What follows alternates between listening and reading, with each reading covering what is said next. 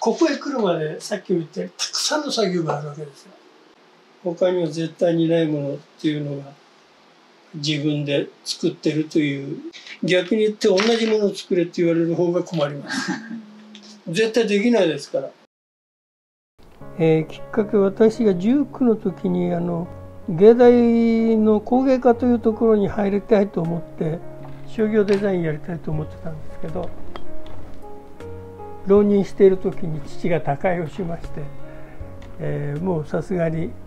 2年も3年もというわけにはいかないのでちょうどその時にあの知り合いの呉服屋さんが、えー「お兄ちゃん絵が好きだし上手そうだからこういうのをやってるのがあるからやらないか」という紹介でそれであの先生のところに弟子入りしました。この刷毛が、えー、よく見てもらうとこれ斜めになってるんですよね、えー、肩刷毛と言いますけどこの斜めになってカットされてる刷毛っていうのが一番友禅でぼかしをする時にとても大事な道具なんです。これで全体に薄いのをつけまして長い方にちょっとだけ濃いのをつけてそれで落としてあげるとここにグラデーションができるわけですね。ここへ来るまでさっきも言ったようにたくさんの作業があるわけですよ。でまず、えー、図案を作るというところ図案を作る前にどんなものを作ろうかというさっきお見せしたような写真とかね写生だとかそういったものをから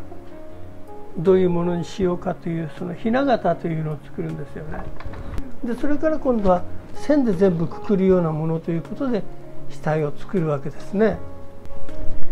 それ糊を盛る前のこれ下絵なんです。これを描くまでが大変なんです死。体を作るのに大体2ヶ月ぐらいかかりますかね。で作っちゃえばあとはさっきも言ったように割と計算ができるんです。で実際にこの色付けの作業が一番大変じゃないかってよく言うんですけどそれは一番時間がかかるんですけど一番楽しいですからねそれはあんまり苦じゃないですね。よく聞かれるのがもう一つ色はもう決まってるんですかとかっていうこと聞かれるんだけど振り袖なんて言うと120色くらいは使ってるはずですからそうするとどこに何をどんなふうにやるっていうのは決まってるんですかとかっていう質問があるんだけどそれは決まってないんですよ。ただあの僕らの引き出しの中にはこの色の隣にはこの色の方が合うなとかっていうそういう知識的なものというのはもう何百何千担当やってますから